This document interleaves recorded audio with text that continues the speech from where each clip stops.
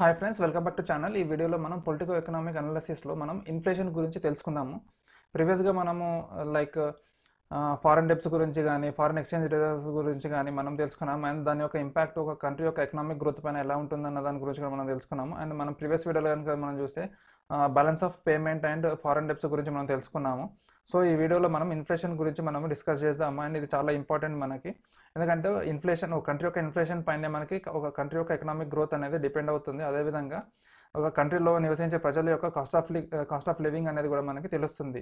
And మెయిన్గా ఈ cost of living బట్టే మనకి ఒక కంట్రీలో మనము బతకగలుగుతామా? లేదంటే మనం ఆ కంట్రీని వదిలేసి వేరే కంట్రీకి వెళ్ళాలా అన్నది కూడా మనము డిసైడ్ చేసుకుంటాం అన్నట్టు సో ఇది మన ఒక ఇండియాకే కాదు. అన్ని అన్ని కంట్రీస్ అనేది ఇది ఇన్ఫ్లేషన్ రేట్ అనేది ఎవ్రీ ఇయర్ క్యాలిక్యులేట్ చేస్తుంది. అండ్ ఇది every month by month calculate చేస్తుంది. సో నేను దీని గురించి డీటెయిల్గా మీకు ఈ వీడియోలో అనేది నేను డిస్కస్ చేస్తాను. ఈ ఛానల్ కనుక మీరు sub first time visit visit చేసినట్టయితే దయచేసి సబ్స్క్రైబ్ చేయండి. నేను రెగ్యులర్గా నేను ఫండమెంటల్ అనాలిసిస్ పైన వీడియోస్ చేస్తాను. అదేవిధంగా అంటే త్వరలో నేను టెక్నికల్ అనాలిసిస్ పైన కూడా వీడియోస్ చేయడం నేను స్టార్ట్ చేస్తాను. మీకు ఈ మ్యాటర్ అనేది మీకు మామూలుగా మీకు పెయిడ్ కోర్సెస్లో కూడా మీకు చాలా మటుకు ఎవరు చెప్పారు అండ్ దొరకదు కూడా. సో నేను ఇక్కడ అంతా మీకు ఫ్రీగా ఇస్తున్నాను. ఈ వీడియోస్ కనుక మీకు నచ్చినట్టయితే దయచేసి నా ఛానల్ని సబ్స్క్రైబ్ చేయండి అండ్ వీడియో కనుక మీకు నచ్చినట్టయితే లైక్ చేయండి అండ్ మీ ఫ్రెండ్స్ అండ్ ఫ్యామిలీ మెంబర్స్తో కూడా షేర్ చేయండి. సో మనం ఇవాళ మన టాపిక్ వచ్చేసి ఇన్ఫ్లేషన్. సో ఇన్ఫ్లేషన్లో మనకి చాలా రకాలు ఉంటాయి. అండ్ అందులో నేను మెయిన్గా అసలు మీకు బ్రాడర్గా అసలు ఇన్ఫ్లేషన్ అంటే ఏంది? దాన్ని ఎలా చూడాలి? దాన్ని అంటే ఎలా క్యాలిక్యులేట్ చేయాలి? అండ్ దానికి అది ఏ విధంగా అంటే మనకు దానికి రీజన్స్ ఏంది? అసలు ఇన్ఫ్లేషన్ రావడానికి రీజన్స్ ఏంది? అండ్ మన ఇండియాలో ప్రస్తుతం ఇన్ఫ్లేషన్ రేట్ ఎంత ఉంది అండ్ దాన్ని మనం ఏ విధంగా మనం ఇన్ఫ్లేషన్ ఓవర్కమ్ చేయాలి? అండ్ ఒక కంట్రీ కూడా ఇన్ఫ్లేషన్ ఓవర్కమ్ చేయడానికి ఏ విధమైన మెజర్స్ తీసుకుంటుంది? అన్నది మనం ఈ వీడియోలో తెలుసుకుందాము. ఫస్ట్ వచ్చేసి మనం అసలు ఇన్ఫ్లేషన్ అంటే ఏంది? అన్నది మనం తెలుసుకుందాం అసలు ఇన్ఫ్లేషన్ అంటే ఏంది అని అంటే సపోజ్ మనం ఇప్పుడు మనం నైన్టీన్ సెవెంటీలో ఉన్నాం అనుకోండి మనం అంటే నైన్టీన్ సెవెంటీలో కాకుండా కనీసం మనం చిన్నగా ఉన్నప్పుడు ఏంటంటే మనకు ఒక ఫైవ్ పైస్ ఇస్తే మనకి ఫైవ్ పైస్కి మనకు ఒక టెన్ బిస్కెట్స్ లేదంటే ఒక ఐదు చాక్లెట్లు అట్లా వచ్చేది. అదే ఇప్పుడు మనం పది చాక్లెట్లు కొనాలి అని అంటే మనకి మినిమం ఒక ఫైవ్ టు టెన్ రూపీస్ అనేది కావాలి. అంటే మనకి ఇప్పుడు ఫైవ్ ప్రైస్కి అంటే అప్పట్లో మనకి ఫైవ్ ప్రైస్కి దొరికే ఐదు బిస్కెట్లు కానీ లేదంటే ఐదు చాక్లెట్లు కానీ ఇప్పుడు మనకి అదే ఫైవ్ బిస్కెట్స్ కొనాలంటే మనకు ఒక ఫైవ్ రూపీస్ కానీ టెన్ రూపీస్ కానీ మనం దానికి ఖర్చు చేస్తున్నాము. దాన్ని మనము ఇన్ఫ్లేషన్ అంటాము. సో ఇప్పుడు ఈ ఇప్పుడు ఫైవ్ ఫైవ్ రూపీస్ ఏదైతే ఉందో అంటే ఫైవ్ రూపీస్ని మనం ఫైవ్ ప్రైస్కి కన్వర్ట్ చేసుకుంటే మనకి ఫైవ్ హండ్రెడ్ బై ఫైవ్ అని అంటే మనకి హండ్రెడ్ పర్సెంట్ అనేది ఇన్ఫ్లేషన్ రేట్ అనేది పెరిగింది. సో ఈ డిఫరెన్స్ ఏదైతే ఉందో అమౌంట్ పెరిగిందో దాన్ని మనం ఇన్ఫ్లేషన్ రేట్ అని అంటాము. అండ్ ఇది ఎవ్రీ ఇయర్ మనం క్యాలిక్యులేట్ చేస్తాము. And every year every year అంటే మనకి సపోజ్ ఇప్పుడు లాస్ట్ జనవరిలో క్యాలిక్యులేట్ చేస్తే ఈ జనవరిలో క్యాలిక్యులేట్ చేస్తాం అట్లా మంత్ బై మంత్ క్యాలిక్యులేట్ చేస్తామని ప్రీవియస్ ఇయర్తో మనము దాన్ని కంపేర్ చేసుకుంటాము అండ్ ఎంత పెరుగుతుంది అన్నది మనము చూసుకుంటాము. ఫస్ట్ అసలు మనము అసలు ఇన్ఫ్లేషన్ అంటే ఏందో మనం ఫస్ట్ అర్థం చేసుకుందాము సేమ్ ఇందాక చెప్పినట్టే మనకి ఒక లైక్ ఇప్పుడు నైన్టీన్ సెవెంటీలో మనము ఐదు పైసలతో మనకు ఒక సాఫ్ట్ డ్రింక్ కొనుక్కుంటే ఇప్పుడు సేమ్ మనకి ఒక సాఫ్ట్ డ్రింక్ కొనాలి అని అంటే మనకి థర్టీ సెవెన్ రూపీస్ పెట్టి మనం సాఫ్ట్ డ్రింక్ తీసుకుంటున్నాం. థర్టీ సెవెన్ రూపీస్ అంటే మనకి six hundred ML of bottle అనేది మనకి ఇప్పుడు దొరుకుతుంది. అండ్ మనం మనం చూసుకుంటే వెళ్తే ఇప్పుడు నైన్టీన్ సెవెంటీలో మనకి అది ఫైవ్ పైస్ వచ్చేది. అదే ఒక టెన్ ఇయర్స్ తర్వాత మనకి అది వన్ పాయింట్ ఫైవ్ రూపీకి పెరిగింది. అండ్ అదే ఇంకొక టెన్ ఇయర్స్ తర్వాత మనకి అది ఫైవ్ రూపీస్కి వచ్చింది అండ్ మనకి టూ థౌజండ్లో వచ్చేసి మనకి ట్వెల్వ్ రూపీస్ అయింది ఒక బాటిల్ అండ్ దాని తర్వాత టూ థౌజండ్ టెన్కి వచ్చేసరికి అది ట్వంటీ ఎయిట్ రూపీస్ అయింది. అండ్ రీసెంట్గా టూ థౌజండ్ ట్వంటీ అంటే మనకి రీసెంట్గా అదే థర్టీ ఫైవ్ రూపీస్ నుంచి థర్టీ సెవెన్ రూపీస్కి అంటే టూ రూపీస్ అనేది పెంచారు హైక్ చేశారు అన్నట్టు. ఇదంటే ఏంటంటే ప్రొడక్షన్ కాస్ట్ పెరగడం వల్ల వాళ్ళకి ప్రాఫిటబిలిటీ తగ్గడం వల్ల వాళ్ళు అనేది ఈ ప్రైస్ అనేది పెంచారు ఇది మనకి ఎక్కడైతే మనకి అంటే ఫైవ్ ప్రైస్ నుంచి థర్టీ సెవెన్ రూపీస్కి ఏదైతే పెరిగిందో దాన్ని మనము ఇన్ఫ్లేషన్ రేట్ అని అంటాము. మెయిన్గా ఈ ఇన్ఫ్లేషన్ రేట్ ఎందుకు వస్తుందని అంటే మనకి ఎప్పుడైతే ఒక కంట్రీలో లైక్ ఇప్పుడు మనీ సప్లై ఏదైతే ఉంటుందో మనీ సప్లై ఎప్పుడైతే లైక్ ఎకనామిక్ గ్రోత్ని అవుట్ అవుట్కమ్ అంటే like out space out pace చేస్తుందో అప్పుడే మనకి ఇన్ఫ్లేషన్ అనేది వస్తుంది. అసలు money money policy money supply అంటే ఏంటని అంటే అంటే లిక్విడ్ క్యాష్ అంటే లైక్ అంటే ఒక ఎండ్ కన్జ్యూమర్ దగ్గర కానీ లేదంటే వాళ్ళ దగ్గర ఉన్న బ్యాంక్ అకౌంట్లో కానీ లేదంటే ఇప్పుడు చాలామంది ఏందని అంటే ఇప్పుడు క్యాష్ రూపంలో కానీ కాయిన్స్ రూపంలో కానీ వాళ్ళు ఏంటంటే బ్యాంకులో వేయకుండా లేకపోతే వాళ్ళ దగ్గరనే పెట్టుకోవడం. అంటే గవర్నమెంట్ దగ్గర కాకుండా ఎప్పుడైతే ప్రజల దగ్గరనే మనీ మనీ అనేది ఎక్కువ ఉండిపోతుందో దాన్ని మనం మనీ సప్లై అంటాము. ఎప్పుడైతే ఈ లిక్విడ్ క్యాష్ ఈ అంటే నార్మల్ పీపుల్ దగ్గర ఎప్పుడైతే ఎక్కువగా సర్క్యులేట్ అవుతుందో అప్పుడు మనకి ఇన్ఫ్లేషన్ రేట్ అనేది చాలా పెరగడం అనేది స్టార్ట్ అవుతుంది. సో సేమ్ ఇప్పుడు మన inflation is nothing but previous ఇయర్లో మనము కొనే అమౌంట్కి ఈ ఇయర్ సేమ్ అమౌంట్ పెట్టుకుంటే మనకి ఎంత వస్తుంది అన్నది తెలుసుకోవడమే మనకి ఇన్ఫ్లేషన్ అన్నట్టు. సో మ్యాక్సిమం అంటే మామూలుగా మన కంట్రీలో ఎలా ఇన్ఫ్లేషన్ రేట్ని క్యాలిక్యులేట్ చేస్తారంటే లైక్ ఒక బాస్కెట్ని తీసుకుంటారు. అండ్ ఆ బాస్కెట్లో రెగ్యులర్గా మనకి అంటే నిత్యావసర వ- వస్తువులు ఏవైతే ఉంటాయో దాన్ని అందులో పెడతారన్నట్టు. లైక్ మాకు మా ఒక మనిషి బతకడానికి మెయిన్గా కావాల్సింది ఏంటంటే ఫుడ్ ట్రాన్స్పోర్టేషన్ అండ్ అది కాకుండా housing clothing and medical needs ఇవన్నీ నార్మల్గా కావాలన్నట్టు. కానీ ఈ ప్రతి ఒక్క దానికి సపరేట్ సపరేట్ వెయిటేజ్ ఉంటుంది. ఏంటంటే లైక్ ఇప్పుడు సపోజ్ ఇప్పుడు మనకి ఏంటంటే ఇప్పుడు ఒక బాస్కెట్లో మనకి ఇప్పుడు ఫుడ్తో పాటు మనకి ఎంటర్టైన్మెంట్ కూడా అవసరమే. ఎంటర్టైన్మెంట్ అంటే లైక్ ఇప్పుడు సినిమాలు కానీ మ్యూజిక్ కానీ ఇవి కూడా అవసరమే. దాంతోపాటు మనకు ట్రా ట్రాన్స్పోర్టేషన్కి మనకు పబ్లిక్ ట్రాన్స్పోర్టేషన్ ఉంటుంది దాని తర్వాత ప్రైవేట్ ట్రాన్స్పోర్టేషన్ అంటే మన ఓన్ ట్రాన్స్పోర్టేషన్ కూడా ఉంటుంది. కానీ దానికి సపరేట్ వెయిటేజ్ అనేది ఉంటుంది. సపోజ్ ఇప్పుడు మనం ఫుడ్డే తీసుకున్నాం అనుకోండి. ఫుడ్ అని అంటే మనం ఒక మనిషి బతకాలంటే ఖచ్చితంగా రోజుకి మూడు నుంచి ఆరు పూటలు ఖచ్చితంగా ఫుడ్ అనేది తీసుకోవాలి. కానీ అది అందరు తీసుకుంటారు అన్నది అందరు తీసుకుంట అదే విధంగా తింటారు అన్నది కాదు. మామూలుగా చెప్తున్నాను. ఎందుకనంటే ఇప్పుడు ఫుడ్కి వెయిటేజ్ అనేది ఎక్కువ ఉంటుంది ఎందుకంటే ఖచ్చితంగా ఒక మనిషి సర్వైవ్ అవ్వాలంటే ఖచ్చితంగా ఫుడ్ తీసుకోవాలి. సో మనకి ఈ బాస్కెట్లో ఫుడ్ వెయిటేజ్ వచ్చేసి మనకి thirty to thirty seven percent కానీ లేదంటే ఫార్టీ పర్సెంట్ వరకు ఉంటుంది. హైయెస్ట్ వెయిటేజ్ ఫుడ్కే ఉంటుంది. ఆ ఫుడ్లో ఏమొస్తుంది అంటే లైక్ వెజిటేబుల్స్ కానీ రైస్ కానీ ఆయిల్ కానీ బిస్కెట్స్ కానీ కుకీస్ కానీ చాక్లెట్స్ కానీ ఇవన్నీ మనకి ఫుడ్ ఫుడ్ ఐటమ్స్ కిందకే వస్తుంది. సో ఈ దీని వెయిటేజ్ అనేది మనకి ఎక్కువ ఉంటుంది దాని తర్వాత నెక్స్ట్ వచ్చేసి మనకి మెడికల్ మెడికల్ నీడ్స్ అన్నట్టు.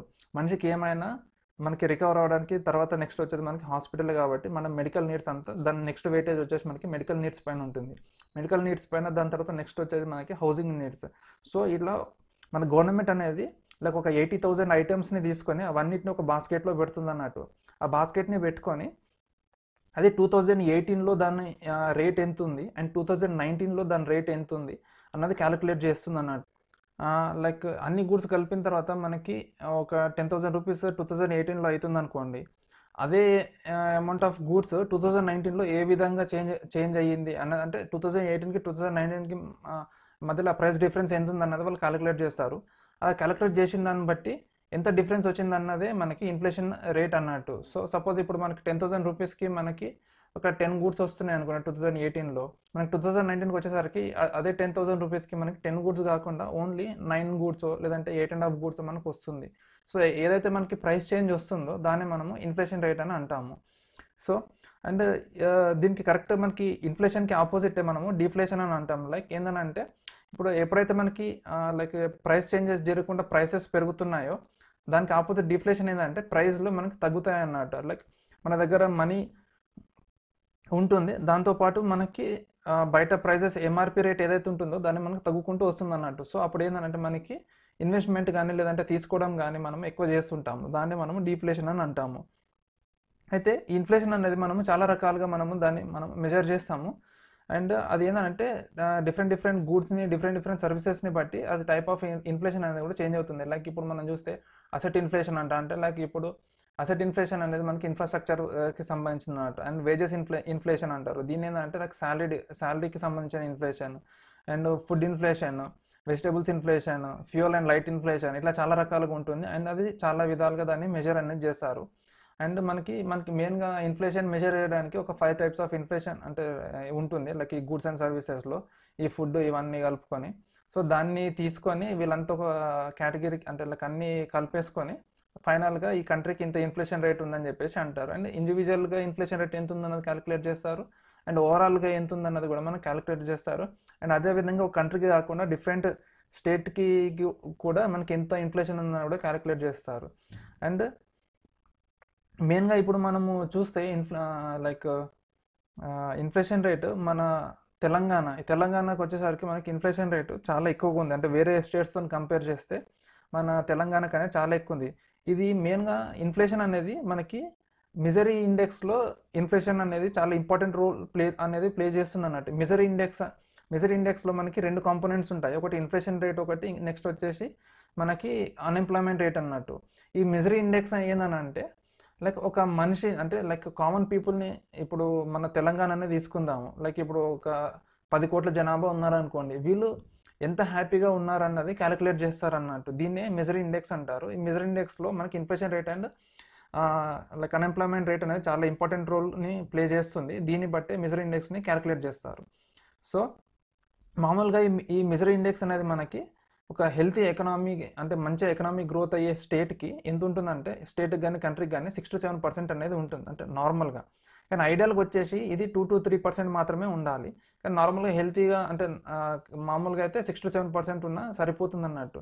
కానీ ఇప్పుడు మన కంట్రీ కాకుండా జస్ట్ మన ఓన్లీ తెలంగాణకే చూస్తే ఇది నైన్టీన్ పర్సెంట్ ఉంది. అంటే మీరు అర్థం చేసుకోవచ్చు మన తెలంగాణలో ఎంత ఎంతమంది హ్యాపీగా ఉన్నారో ఎంతమంది హ్యాపీగా లేరు అనేది అండ్ ఈ నైన్టీన్ పర్సెంట్ అనేది నేను ఓన్లీ తెలంగాణకే కాదు ఇది ఆల్ ఓవర్ ఇండియాలో ఇక్కడే హైయెస్ట్ ఉంది. మన తెలంగాణలోనే హైయెస్ట్ ఉంది. సో దీన్ని బట్టి మీరు అర్థం చేసుకోండి మన వాళ్ళు ఎంత ఎంత హ్యాపీగా ఉన్నారు అన్నది అండ్ నెక్స్ట్ దీని తర్వాత మనం ఆంధ్రప్రదేశ్లో చూసుకుంటే అది సెవెంటీన్ పర్సెంట్ ఉంది. అంటే వాళ్ళు మన మనతో కంపేర్ చేసుకుంటే వాళ్ళు కొద్దిగా హ్యాపీగానే ఉన్నారు చెప్పాలంటే. సో ఈ విధంగా ఇన్ఫ్లేషన్ రేట్ అనేది క్యాలిక్యులేట్ చేస్తారు. ఈ ఈ మెజర్ ఇండెక్స్ ద్వారా జనాలు ఎంత హ్యాపీగా ఉందని క్యాలిక్యులేట్ చేస్తారు. అదే అన్ఎంప్లాయ్మెంట్ రేట్తోని ఎంతమంది ఎంప్లాయ్ అవుతున్నారు ఎంతమంది అన్ఎంప్లాయ్మెంట్ ఉంది అన్నది కూడా క్యాలిక్యులేట్ చేస్తారు. సో ఈ మెజర్ ఇండెక్స్లో అన్ఎంప్లాయ్మెంట్ రేట్ ఏ విధంగా యూజ్ అవుతుందంటే అన్ఎంప్లాయ్మెంట్ రేట్ కూడా మనకి మాక్సిమం వచ్చేసి మనకి ఫోర్ టు ఫైవ్ పర్సెంట్ మాత్రమే ఉండాలి. ఎందుకంటే లైక్ ఇప్పుడు suppose four to five percent కంటే ఎక్కువ ఉంటే జనాలు అనేది చాలా ఎక్కువైపోతుంది.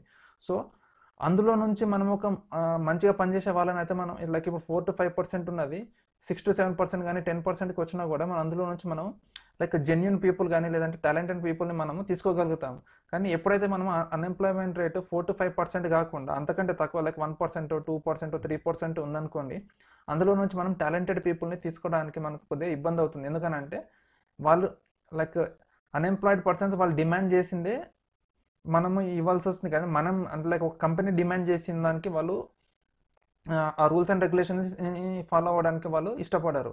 లైక్ ఏంటంటే నువ్వు కాకపోతే నేను ఇంకో ఇంకో కంపెనీకి వెళ్తాను అక్కడ నేను జాబ్ చూసుకుంటాను అన్నట్టు ఉంటుంది. సో అప్పుడు ఏమౌంట్ ఏమవుతుందంటే ఎప్పుడైతే అన్ఎంప్లాయ్మెంట్ రేట్ తక్కువ ఉంటుందో అప్పుడు టాలెంటెడ్ పీపుల్ అనేది మనకు తక్కువ దొరికి ఒక కంపెనీ యొక్క సక్సెస్ కంటే కంపెనీ యొక్క ఫెయిల్యూర్కి ఎక్కువ అనేది అది దోహదపడుతుంది. సో అన్ఎంప్లాయ్మెంట్ రేట్ అనేది మనకి మ్యాక్సిమం ఫోర్ అంటే మినిమం మ్యాక్సిమం ఈ రెండు వచ్చేసి మనకు ఫోర్ టు ఫైవ్ పర్సెంట్ మాత్రమే ఉండాలి. ఎక్కువ ఉన్న మనకి ఎకనామిక్ గ్రోత్ అనేది స్లో అవుతుంది. ఎందుకంటే అన్ఎంప్లాయ్మెంట్ రేట్ ఎక్కువ ఉంటే మనకి ఇన్కమ్ అనేది సోర్స్ ఆఫ్ ఇన్కమ్ అనేది తగ్గిపోతుంది. సో అప్పుడు మనకి ఏంటంటే per capital source of income తగ్గిపోయి జీడిపి అనేది పడిపోతుంది. లైక్ ఏంటంటే ఇప్పుడు మనం లైక్ డైలీ నీడ్స్ని కూడా మనం కొనుక్కోలేని పరిస్థితికి వెళ్ళిపోతాము. సో అట్లా కూడా మనకి ఎకనామీ డౌన్ అయిపోతుంది. అండ్ అన్ఎంప్లాయ్మెంట్ రేట్ తక్కువ ఉన్నా కూడా మనకి ప్రాబ్లం అవుతుంది. ఎందుకనంటే ఇలాంటి టాలెంటెడ్ పీపుల్ ఎవరైతే ఉంటారో వాళ్ళు మనకు దొరకక అన్టాలెంటెడ్ పీపుల్ని మనం ఒక కంపెనీ అనేది రిక్రూట్ చేసుకుంటుంది అండ్ ఫ్యూచర్ గ్రోత్కి ఎకనామిక్ గ్రోత్కి అనేది అది యూస్ఫుల్గా ఉండదు. సో ఈ విధంగా misery ఇండెక్స్కి unemployment rate and inflation rate అనేది చాలా క్రూషల్ రోల్ అనేది ప్లే చేస్తుంది. నేను ఇన్ఫ్లేషన్ రేట్ ఏ విధంగా ప్లే చేస్తుంది అన్నది నేను నెక్స్ట్ కమింగ్ వీడియోస్లో నేను మీకు చెప్తాను. అండ్ నెక్స్ట్ వచ్చేసి మనకి అసలు ఇన్ఫ్లేషన్ ఏ అంటే ఎందుకు ఇన్ఫ్లేషన్ అనేది వస్తుంది అన్నది మనం తెలుసుకుందాము. ఇందులో మనకి మెయిన్గా త్రీ రీజన్స్ అనేది ఉంటుంది. ఒకటి ఏంటంటే demand pull effect demand pull effect next వచ్చేసి కాస్ట్ పుష్ ఎఫెక్ట్ అండ్ దాని తర్వాత వచ్చేసి బిల్ట్ ఇన్ ఇన్ఫ్లేషన్ ఇవి. ఈ త్రీ రీజన్స్ అనేది ఇన్ఫ్లేషన్ రావడానికి కీ రోల్ అనేది ప్లే చేస్తుంది. ఫస్ట్ మనం ఇప్పుడు డిమాండ్ పుల్ ఎఫెక్ట్ అనేది మనం తెలుసుకుందాం. ఈ డిమాండ్ పుల్ ఎఫెక్ట్ ఏంటంటే లైక్ సపోజ్ ఇప్పుడు ప్రజెంట్గా ఒక ఎగ్జాంపుల్ తీసుకున్నాం ఆయిల్ క్రూడ్ ఆయిల్ ఎగ్జాంపుల్గా తీసుకుందాము. వీళ్ళు మెయిన్గా crude oil like OPEC countries ఏవైతే ఉన్నాయో లైక్ సౌదీ అరేబియా కానీ లైక్ ఇంకా దుబాయ్ ఇరాన్ ఇరాక్ ఇవన్నీ ఏం చేస్తాయనంటే వాళ్ళు వాళ్ళంతా ఒక అసోసియేషన్ అనేది ఫామ్ చేసుకున్నారు. వాళ్ళు ఏదంటే వాళ్ళకి ఎప్పుడైతే ఈ ప్రైస్ మాకు సరిపోవట్లేదు ఈ ప్రైస్ని మనం పెంచాల పెంచాలి అని వాళ్ళు అనుకున్నప్పుడు వాళ్ళు ఏం చేస్తారంటే సప్లైని కట్ చేస్తారు. సప్లై కట్ చేస్తే ఏమవుతుందంటే బయట వేరే కంట్రీస్లో డిమాండ్ అనేది పెరుగుతుంది. లైక్ ఇప్పుడు ఇరాన్లో దొరకకపోతే వాళ్ళు సౌదీకి వెళ్తారు. సౌదీలో దొరకకపోతే ఇంకా దుబాయ్కి వెళ్తారు. అట్లా లైక్ డిఫరెంట్ డిఫరెంట్ కంట్రీస్కి వెళ్తారు అన్నట్టు. కానీ ఎక్కడికి వెళ్ళినా వాళ్ళకి సప్లై అనేది తక్కువ ఉంటుంది. డిమాండ్ అనేది పెరుగుతుంది. ఎందుకంటే మనకి ఇప్పుడు ట్రాన్స్పోర్టేషన్ కావాలి అని అంటే ఖచ్చితంగా మనకి ఆయిల్ అనేది కావాలి. ఈ ట్రాన్స్పోర్టేషన్కే కాదు. లైక్ మనం ఇప్పుడు ఫేషియల్స్కి సంబంధించి లైక్ ఇప్పుడు వ్యాజ్లిన్ కానీ లేక పెట్రోలియం ప్రొడక్ట్స్ అనేది మనకు చాలా దాంట్లో యూజ్ అవుతుంది.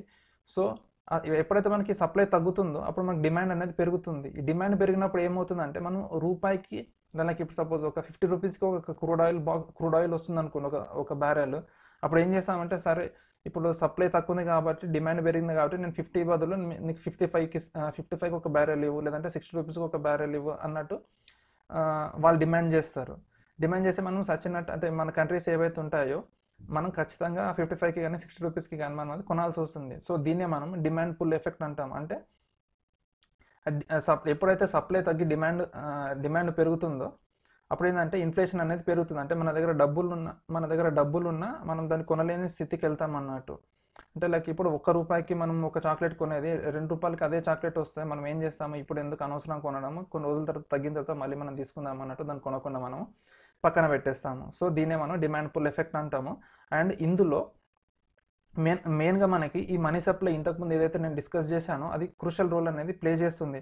ఎప్పుడైతే ఈ మనీ సప్లై అనేది పెరుగుతుందో మనీ సప్లై అంటే లిక్విడ్ లిక్విడిటీ ఎప్పుడైతే మనకి మన నార్మల్ పీపుల్ దగ్గర పెరుగుతుందో అప్పుడు ఏం చేస్తారంటే వాళ్ళ దగ్గర ఇష్టం వచ్చినట్టు అంటే అవసరం అవసరమైన దానికంటే ఎక్కువ మనీ ఉంటాయి. వాళ్ళు ఏం చేస్తారు అయితే ఒకటి ఇన్వెస్టింగ్ ఇన్వెస్ట్మెంట్ అన్న చేస్తారు. లేదంటే వాళ్ళకి అవసరం ఉన్నా అవసరం లేకున్నా ఏదో ఒకటి కొనడం అనేది స్టార్ట్ చేస్తారు. ఎందుకనంటే ఫ్యూచర్లో దాని ప్రైస్ పెరిగే ఛాన్సెస్ ఉందని చెప్పేసి అవి ముందే తీసేసుకోవడం స్టార్ట్ చేస్తారు ఎందుకంటే వాళ్ళ దగ్గర డబ్బులు ఉన్నాయి కాబట్టి. అప్పుడు ఏమవుతుందనంటే సప్లైకి మించిన డిమాండ్ అనేది పెరిగిపోతుంది.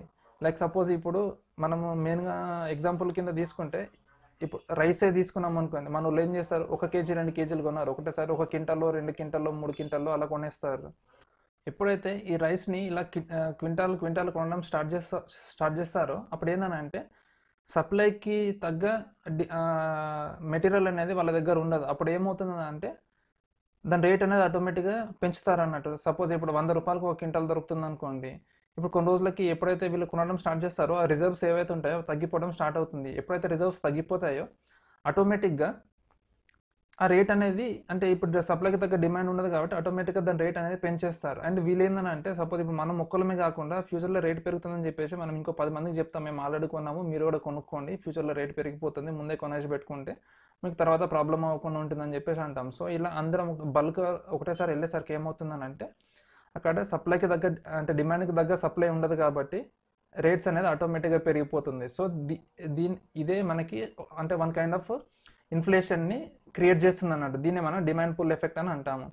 నెక్స్ట్ వచ్చేసి మనకి కాస్ట్ పుష్ ఎఫెక్ట్. ఇది ఏంటంటే మనకి ప్రొడక్షన్ కాస్ట్ ఏదైతే ఉంటుందో ఎప్పుడైతే మనకి ప్రొడక్షన్ కాస్ట్ పెరుగుతుందో ప్రొడక్షన్ కాస్ట్ పెరిగినప్పుడు ఏమవుతుందంటే ఆటోమేటిక్గా మనము ఆ ప్రోడక్ట్ యొక్క రేట్ని కూడా మనము పెంచేస్తాం అన్నట్టు సో పెంచినప్పుడు ఏమవుతుందంటే ఆటోమేటిక్గా అది మనం ప్రో మనం ఇన్ఫ్లేషన్ని క్రియేట్ చేస్తాము.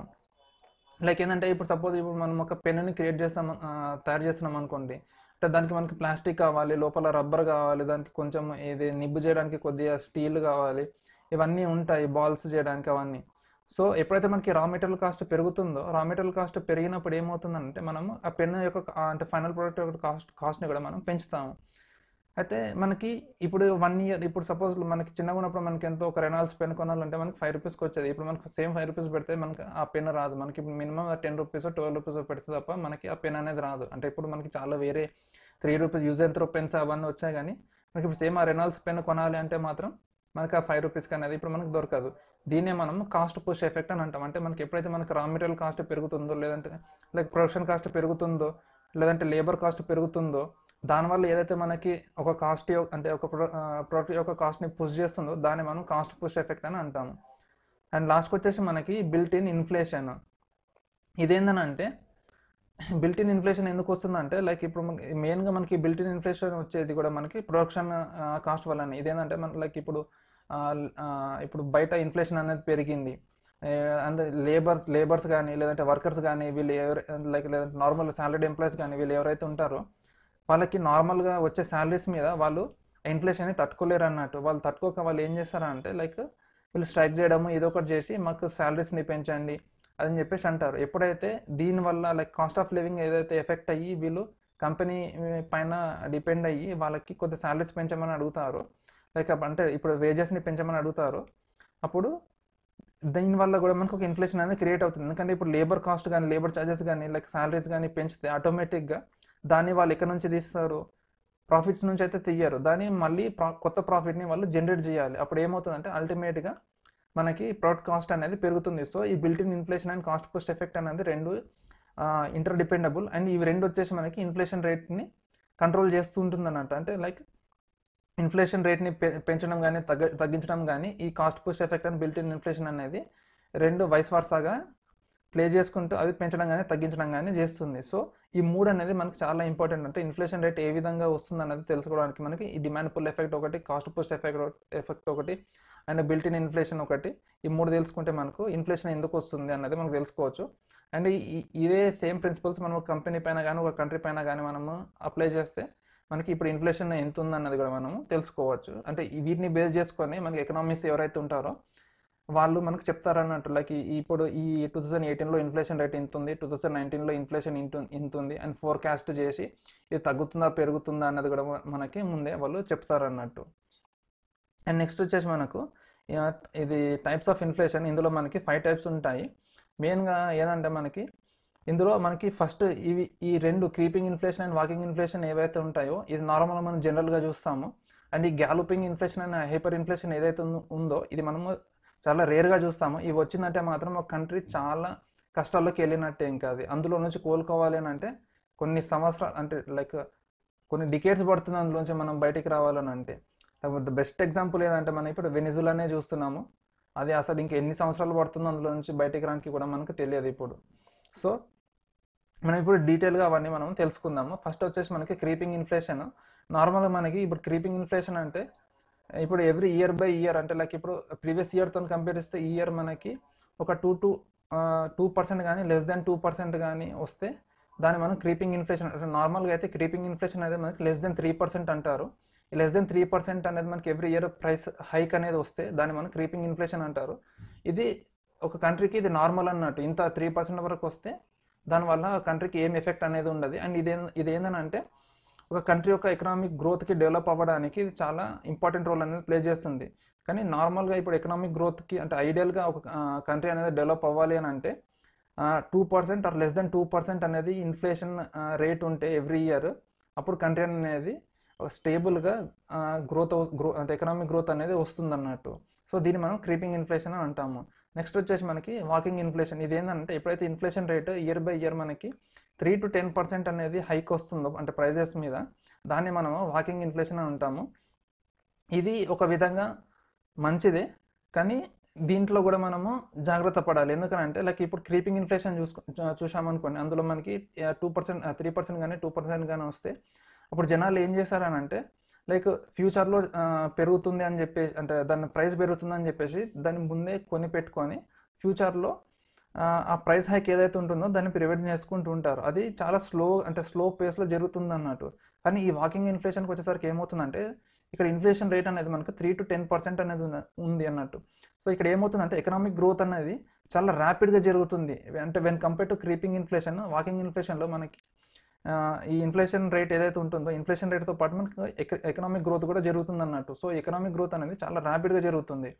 సో అప్పుడు ఏమవుతుందని అంటే ఈ ప్రైజెస్ హైక్ ఏదైతే ఉంటుందో చాలా ర్యాపిడ్గా పెరిగిపోతుంది అన్నట్టు అంటే మనకి ఇప్పుడు ఒక్క రూపాయికి దొరికే చాక్లెట్ సడన్గా మనకు ఒకటేసారి ఫైవ్ రూపీస్కి టెన్ రూపీస్కి అయితే మనం ఏం చేస్తాము దాన్ని కొనడం మానేస్తాం అన్నట్టు అంటే స్టార్టింగ్లో మన దగ్గర డబ్బులు మనీ సప్లై ఎక్కువ ఉండడం వల్ల మనం దానికి కొన్న లాస్ట్కి వచ్చేసరికి ఏం చేస్తామనంటే ఒక కామన్ పీపుల్కి అది అవుట్ ఆఫ్ రీచ్ అయిపోతుంది అన్నట్టు సో దాన్ని మనం కొన కొన- కొనలేకుండా తయారవుతుంది. సో ఇది వాకింగ్ ఇన్ఫ్లేషన్లో మనము ఎంత స్పీడ్గా ఎకనామిక్ గ్రోత్ అనేది వస్తుందో అంతే స్పీడ్గా మనకి ఎకనామిక్ గ్రోత్ స్లో డౌన్ కూడా అయిపోతుంది. సో ఈ వాకింగ్ ఇన్ఫ్లేషన్ వస్తుంది అని అంటే మనము చాలా జాగ్రత్త పడాలి. ముందు నుంచే మనము చాలా కేర్ఫుల్గా తీసుకోవాలి. అండ్ దాని తర్వాత నెక్స్ట్ వచ్చేసి మనకి గ్యాలోపింగ్ ఇన్ఫ్లేషన్ ఈ గ్యాలోపింగ్ ఇన్ఫ్లేషన్ ఏంటంటే మనకి ఎప్పుడైతే మనకి inflation rate greater than ten percent ఉందో దాన్ని మనం గ్యాలోపింగ్ ఇన్ఫ్లేషన్ అని అంటాము. అండ్ ఈ గ్యాలోపింగ్ ఇన్ఫ్లేషన్ ఎప్పుడైతే మనకి స్టార్ట్ అవుతుందో ఈ స్టార్ట్ అయినప్పుడు ఏం చేస్తారంటే లైక్ ఇన్వెస్ట్మెంట్స్ ఏవైతే ఉంటాయో లైక్ ఫారెన్ ఇన్వెస్ట్మెంట్స్ కానీ లేదా కంపెనీ ఫ్యూచర్స్ అంటే వాళ్ళ ప్లాన్స్ ఏవైతే ఉంటాయో అవన్నీ కూడా చాలా డిస్టర్బ్ అయిపోతాయి. అండ్ ఈ ఫారెన్ ఇన్వెస్ట్మెంట్స్ అయితే కంప్లీట్గా ఆగిపోతాయి. వాళ్ళు పెట్టిన ఇన్వెస్ట్మెంట్స్ని కూడా వాళ్ళు తీసుకొని ఆ కంట్రీని అవాయిడ్ చేయడం అనేది స్టార్ట్ చేస్తారన్నట్టు ఈ గ్యాలోపింగ్ ఇన్ఫ్లేషన్ అనేది చాలా డేంజర్. ఒకవేళ గ్యాలోపింగ్ ఇన్ఫ్లేషన్ అనేది ఏ కంట్రీ మీద అయినా ఎఫెక్ట్ చూపిస్తే ఆ కంట్రీ అనేది కోలుకోవడానికి చాలా ఇయర్స్ పడుతుంది.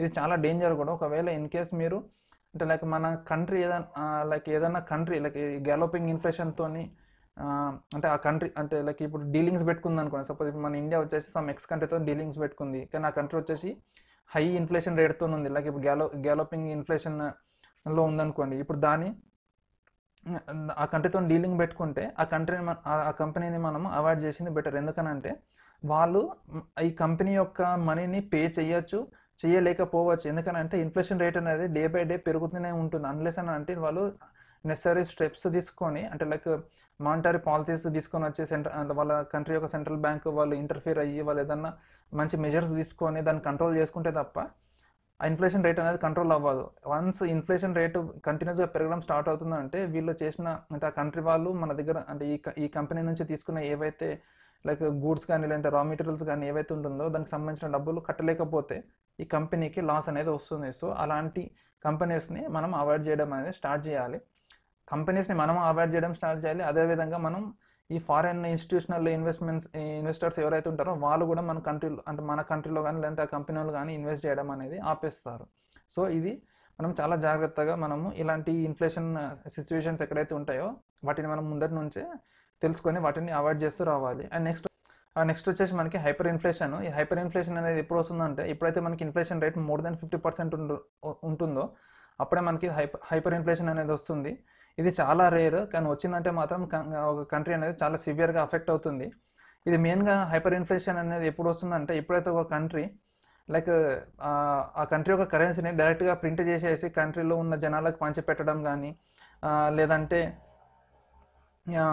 ఈ వార్ టైంలో కానీ వీళ్ళు ఏం చేస్తారంటే కంట్రీ అన్ వార్ టైంలో ఏమవుతుందంటే కంట్రీ యొక్క కరెన్సీ అనేది సరిపడా ఉండదన్నట్టు వాళ్ళు అయితే అప్పన్న అన్న తీసుకొని రావాలి లేదంటే పక్కన కంట్రీలో నుంచి ఏదైనా ఇన్వెస్ట్మెంట్స్ అనేది తీసుకొని రావాలి. ఆ వార్ టైంలో ఎవరు మనకి ఆ కంట్రీలో వచ్చి ఇన్వెస్ట్మెంట్స్ అనేది చేయరు. అప్పుడు వీళ్ళు ఏం చేస్తారంటే డైరెక్ట్ కంట్రీని ప్రింటింగ్ చేసేసి డైరెక్ట్ అందరినీ పంచే పనిచేస్తూ ఉంటారు. సో ఆ టైంలో ఏమవుతుందంటే కంట్రీ యొక్క కరెన్సీ ఏదైతే ఉంటుందో డివాల్యూ అవుతుంది అన్నట్టు సో మెయిన్గా హైపర్ ఇన్ఫ్లేషన్ ఎందుకు వస్తుందంటే over printing of the currency and next వచ్చేసి డివాల్యుయేషన్ ఆఫ్ ది కరెన్సీ. ఈ రెండు రీజన్స్ వల్లనే హైపర్ ఇన్ఫ్లేషన్ వస్తుంది. సో ఇది చాలా రేర్. అండ్ ఇది వచ్చేసి మనకి జర్మన్లో చూసాము. జర్మన్లో నైన్టీన్ సెవెంటీస్ అనుకుంటా నైన్టీన్ సెవెంటీస్లో వార్ అప్పుడు హైపర్ ఇన్ఫ్లేషన్ అనేది వచ్చింది. సో మీకు జస్ట్ చెక్ చేయండి. మీకు ఆ డాటా అనేది మీకు దొరికిపోతుంది. అండ్ నెక్స్ట్ వచ్చేసి మనకి స్టాగ్ఫ్లేషన్ ఇది ఏంటంటే స్టాగ్ఫ్లేషన్ అనేది ఇది కూడా మనకి చాలా రేర్ సిచ్యువేషన్.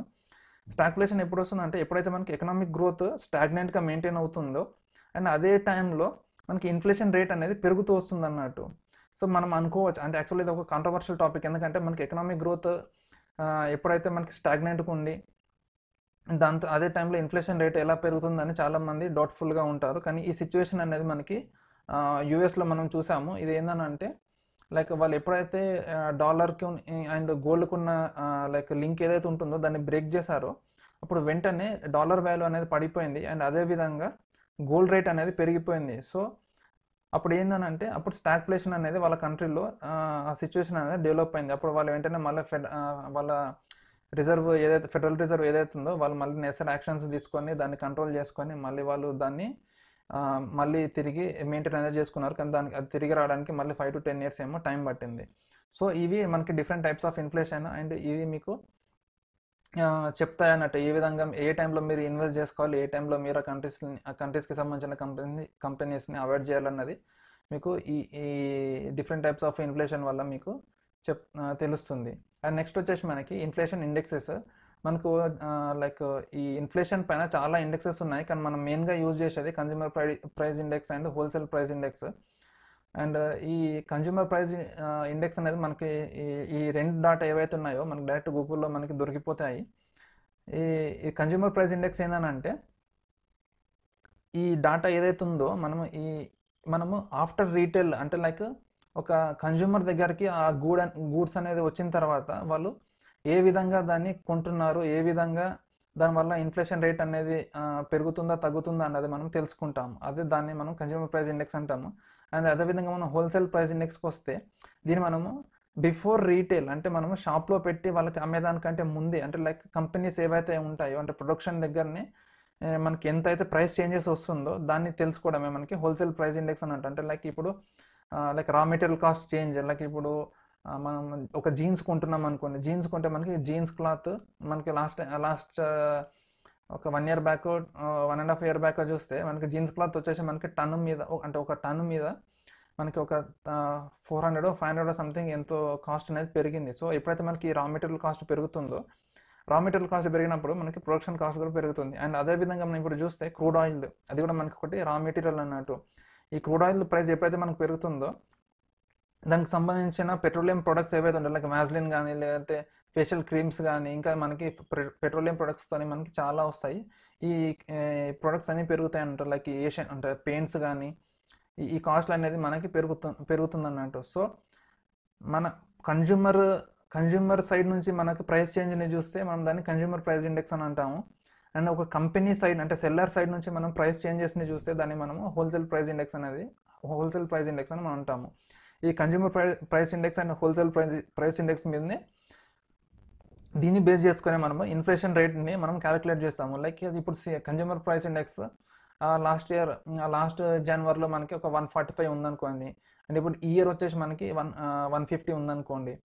ఇప్పుడు వన్ వన్ ఫార్టీ ఫైవ్కి వన్ ఫిఫ్టీ అంటే మనం లాస్ట్ ఇయర్ ఇప్పుడు వన్ ఫార్టీ ఫైవ్నే మనం హండ్రెడ్ అని తీసుకున్నాం అనుకోండి అంటే లైక్ హండ్రెడ్ హండ్రెడ్ స్టాండర్డ్ కింద హండ్రెడ్ అనుకున్నాం అనుకోండి అంటే మనకు అప్పుడు వంద రూపాయలు పెడితే వచ్చే ఒక పెన్ ఇప్పుడు మనకి వన్ ఫార్టీ ఫైవ్ నుంచి వన్ ఫిఫ్టీ అంటే మనకి ఫైవ్ ఫైవ్ అంటే లైక్ ఒక ఏమంటారు? ఒక two percent three percent hike అయ్యి ఉంటుంది. అంటే one forty five to one fifty అంటే అంటే వన్- మనకి వన్ నాట్ టూ రూపీస్కి ఆ గూ అంటే ఆ ప్రోడక్ట్ అనేది మనకి వస్తుంది అన్నట్టు సో దీన్నే మనము ఇన్ఫ్లేషన్ రేట్ అని అంటాము. సో ఈ ఇండెక్సెస్ని తీసుకొని మనము ఇన్ఫ్లేషన్ రేట్ అనేది మనము క్యాలిక్యులేట్ చేస్తాము. ఈ డాటా అనేది మనకి లైక్ చాలా వెబ్సైట్స్లో మనకి దొరికిపోతుంది. అండ్ మీరు ఓన్గా కూడా మీరు ఇన్ఫ్లేషన్ రేట్ని క్యాలిక్యులేట్ చేసుకోవచ్చు. నేను మీకు చెప్తాను అది ఏ విధంగా క్యాలిక్యులేట్ చేసుకోవాలన్నది నేను మీకు చెప్తాను. అండ్ ఇది ఫార్ములా ఫర్ మెజరింగ్ ఇన్ఫ్లేషన్ వచ్చేసి మనకి final CPI final consumer products index value by divided by initial CPI index value అంటే సపోజ్ ఇప్పుడు ఇప్పుడు మనము ఇప్పుడు జాన్ టూ థౌజండ్ ట్వంటీ కదా మనకి లాస్ట్ వచ్చేసి మనకి సిపిఐ ఇండెక్స్ వాల్యూ మనకి ఎప్పుడు డిసెంబర్తో వస్తుంది. అండ్ ఇప్పుడు మనం- ఇన్ఫ్లేషన్ రేట్ని క్యాలిక్యులేట్ చేయాలని అంటే డిసెంబర్ ఎండింగ్కి అంటే జాన్ ఫస్ట్కి మనకి ఏదైతే సిపిఐ ఇండెక్స్ వాల్యూ వస్తుందో ఆ ఇండెక్స్ వాల్యూని మనం తీసుకొని అదేవిధంగా last year December index value CPI value ఎంత ఉందో తీసుకొని దాంతో మనం డివైడ్ చేస్తే అప్పుడు మనకి ఇన్ఫ్లేషన్ రేట్ ఎంత ఉందన్న తెలుస్తుంది. సపోజ్ మనకి ఇప్పుడు డిసెంబర్ టూ థౌజండ్ నైన్టీన్ యొక్క ఎండింగ్ సిపిఐ ఇండెక్స్ వాల్యూ వచ్చేసి మనకి టూ హండ్రెడ్ ఉందనుకోండి. అండ్ అదేవిధంగా మనకి December two thousand eighteen starting index value వచ్చేసి మనకి హండ్రెడ్ ఉందనుకోండి. అంటే two hundred by hundred divide చేస్తే మనకి ఎంత వచ్చింది? టూ వచ్చింది. అంటే రైజ్ ఇన్ ఇన్ఫ్లేషన్ ఎంత అంటే two percent two hundred percent. అంటే two hundred by hundred into hundred అంటే మనకి టూ హండ్రెడ్ పర్సెంట్ మనకి రైజ్ అనేది వచ్చింది అన్నట్టు సో దీన్ని మనం ఇన్ఫ్లేషన్ రేట్ ఎంత రైజ్ అయిందంటే టూ హండ్రెడ్ పర్సెంట్ అని మనం చెప్తాము. అండ్ అదేవిధంగా లేదంటే ఇప్పుడు మనం టూ హండ్రెడ్ బై ఫిఫ్టీ అనుకున్నాం అనుకోండి. అప్పుడు మనకి ఫోర్ హండ్రెడ్ పర్సెంట్ రైజ్ అయిందని అంటాము. లేదంటే two hundred by one fifty అనుకున్నాం అనుకోండి. అలా కాదు ఎంత ఎంత అమౌంట్ అనేది వస్తే అంత ఇన్ఫ్లేషన్ అనేది మనకి రేట్ రైజ్ అయిందని చెప్పేసి మనం అంటాము. అండ్ అదేవిధంగా అట్లా మనము ఇప్పుడు జాన్ జాన్ మంత్కి మనం క్యాలిక్యులేట్ చేస్తాం అదేవిధంగా ఫెబ్ మంత్ క్యాలిక్యులే క్యాలిక్యులేట్ అంటే లాస్ట్ మంత్ ఫెబ్కి ఎంత ఉంది inflation rate and Jan Feb two thousand ట్వంటీకి ఎంత ఇన్ఫ్లేషన్ రేట్ ఉందన్నది మనం క్యాల్ అంటే చూసుకొని చూసుకుంటే జాన్ నుంచి అంటే జాన్ టూ థౌజండ్ ట్వంటీ నుంచి ఫెబ్ టూ థౌజండ్ ట్వంటీకి ఎంత ఇన్ఫ్లేషన్ అనేది ఇంక్రీజ్ అయిందనేది మనకు తెలు- తెలుస్తుంది. ఇన్ఫ్లేషన్ రేట్ ఎప్పుడైనా మనము ఇయర్ బై ఇయర్ క్యాలిక్యులేట్ చేసుకుంటాం కానీ మంత్ బై మంత్ కాదు. కానీ ఇన్ఫ్లేషన్ రేట్ అనేది ఎవ్రీ మంత్ క్యాలిక్యులేట్ చేసుకుంటాము. కానీ మనం కంపేర్ చేసేది మాత్రం ప్రీవియస్ ఇయర్ సేమ్ మంత్తోని అంతేకాని మనం ఇప్పుడు ఆ డాటా చూసి మనం మంత్ బై మంత్ క్యాలిక్యులేట్ చేస్తు చేసుకున్నామని అంటే ఈ ప్రీవియస్ మంత్ డాటాతోనే మనము ఈ మంత్ నెక్స్ట్ కమింగ్ మంత్ యొక్క ఇన్ఫ్లేషన్ రేట్ క్యాలిక్యులేట్ చేస్తామని అనుకుంటాము. కానీ అది కాదు. అది మనం ప్రీవియస్ ప్రీవియస్ ఇయర్లో ఉన్న మంత్తోని బేస్ చేసుకొని మనము దాన్ని క్యాలిక్యులేట్ చేసుకుంటాము. సో మీరు దీన్ని గుర్తుపెట్టుకోండి. అండ్ నెక్స్ట్ వచ్చేసి మనకి ఈ ఇన్ఫ్లేషన్ వల్ల మనకు వచ్చిన అడ్వాంటేజెస్ ఏంది? అండ్ డిసడ్వాంటేజెస్ ఏంది?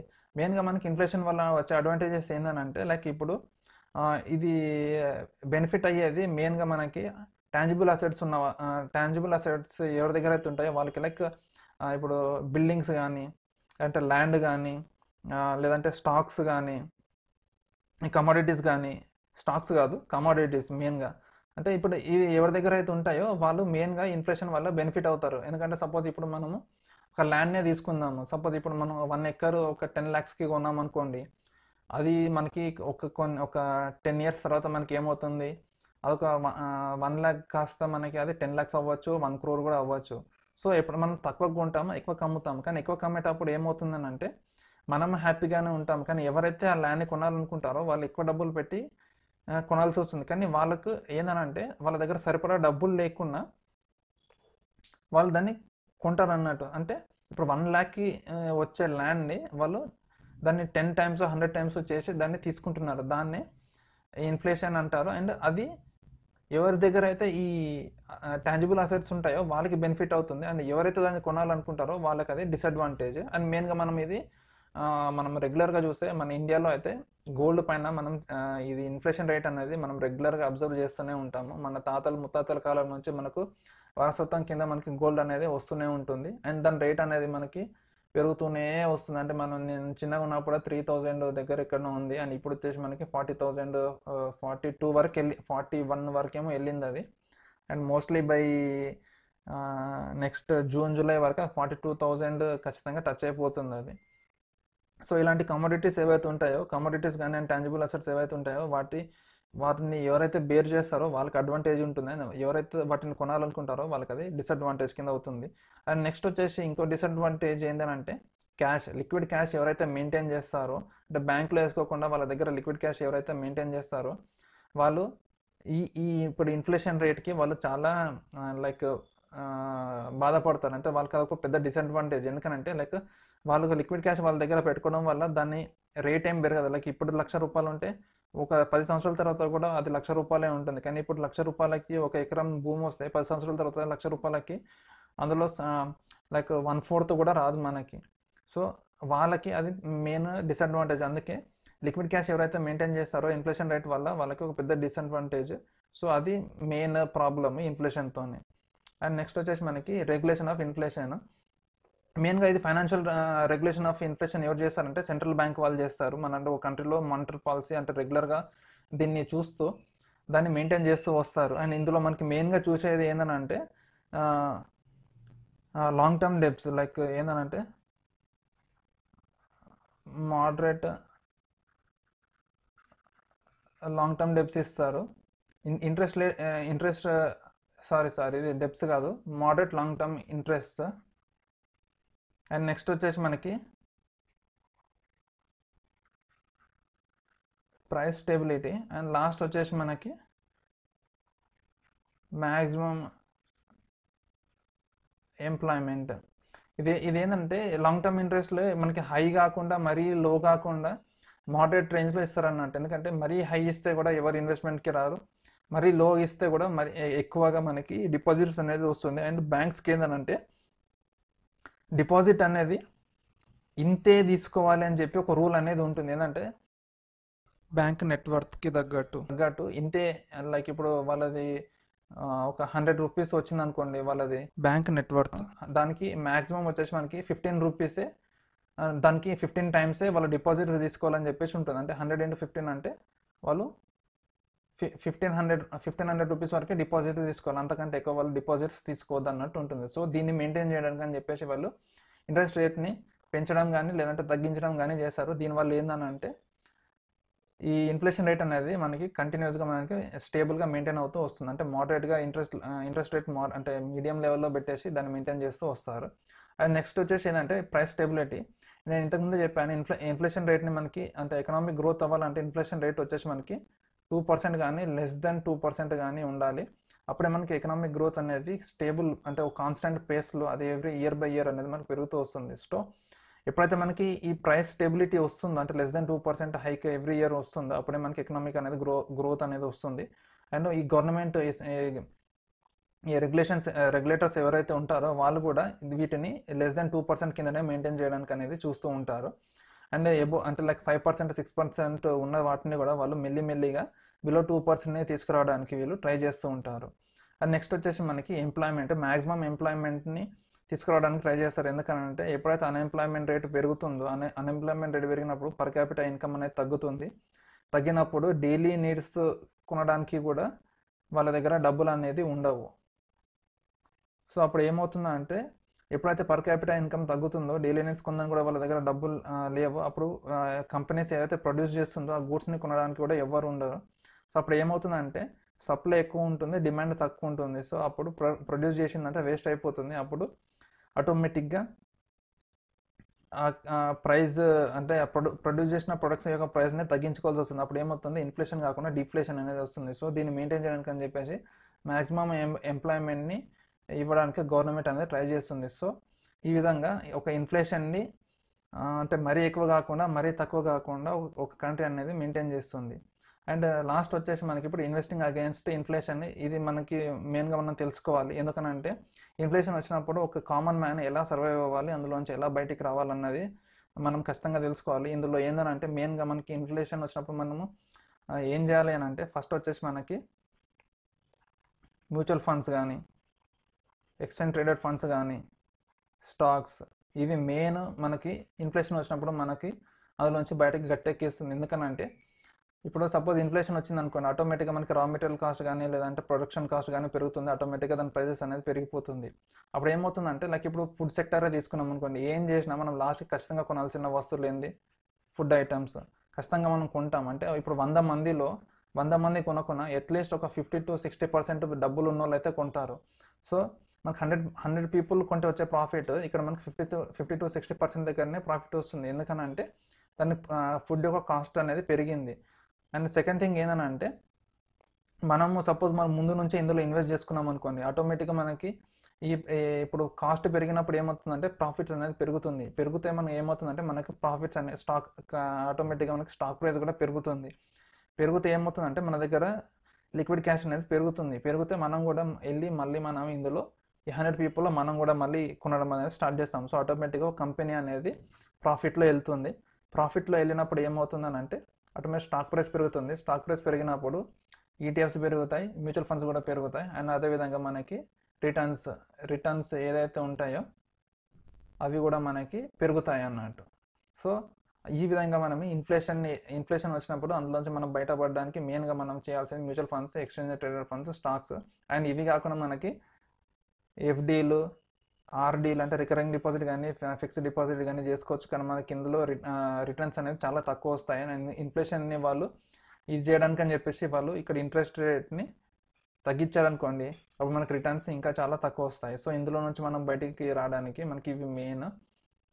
అండ్ అది కాకుండా మన దగ్గర టాంజిబుల్ అసెట్స్ లైక్ ల్యాండ్ కానీ ఇందాక నేను చెప్పినట్టు ల్యాండ్ కానీ కమోడిటీస్ లైక్ గోల్డ్ కానీ గోల్డ్ సిల్వర్ అల్యూమినియం కాపర్ ఇట్లా ఏవైతే ఉంటాయో అవన్నీ ఏవన్నా మన దగ్గర ఉంటే కూడా మనము వాటిని అమ్ముకొని మనం ఇన్ఫ్లేషన్ ఉన్నప్పుడు అందులోంచి మనం బయటకు రావడానికి వీలవుతుంది. సో ఇది మనకి ఇన్ఫ్లేషన్ అండ్ ఇంకా మీకు ఇందులో మనం చెప్పుకుంటూ పోతుండే ఇంకా ఇంకా డెప్త్గా వెళ్తే మనం ఈ కన్జ్యూమర్ ప్రైస్ ఇండెక్స్ గురించి కూడా మనం మాట్లాడుకోవచ్చు. అండ్ హోల్సేల్ ప్రైస్ ఇండెక్స్ గురించి కూడా మనం మాట్లాడుకోవచ్చు. కానీ ఈ టాపిక్ వచ్చేసి మనకు ఓన్లీ ఇన్ఫ్లేషన్ గురించే కాబట్టి నేను వాటి గురించి అంత డీటెయిల్గా ఏం చెప్పలేదు. అండ్ మీకు ఈ వీడియో కనుక మీకు నచ్చినట్టయితే దయచేసి ఈ ఛానల్ని సబ్స్క్రైబ్ చేయండి. ఈ వీడియోని లైక్ చేయండి. మీ ఫ్రెండ్స్ అండ్ ఫ్యామిలీ మెంబర్స్తో షేర్ చేయండి. ఎవరికైతే లైక్ షేర్ మార్కెట్ గురించి అంటే ఇంట్రెస్ట్ ఇంట్రెస్టెడ్ ఉన్నారు అండ్ వాళ్ళు షేర్ ఫండమెంటల్ అనాలిసిస్ని నేర్చుకోవాలనుకుంటున్నారు వాళ్ళతోనే ఈ వీడియో అనేది షేర్ చేయండి. అండ్ మీకు ఈ ఛానల్లో మీకు దొరికే ఇన్ఫర్మేషన్ నాకు తెలిసినంత మటుకైతే వేరే ఏ ఛానల్లో కూడా దొరకదు. అండ్ ఇది కంప్లీట్గా మీకు ఫ్రీయే. మీకు పెయిడ్ కోర్స్లో కూడా మీకు ఈ ఇన్ఫర్మేషన్ అనేది మీకు చెప్పారు. సో దయచేసి ఈ ఛానల్ని సబ్స్క్రైబ్ చేయండి. వీడియో నచ్చినట్లయితే లైక్ చేయండి. మళ్ళీ మనం నెక్స్ట్ వీడియోలో కలుద్దాం. Thank you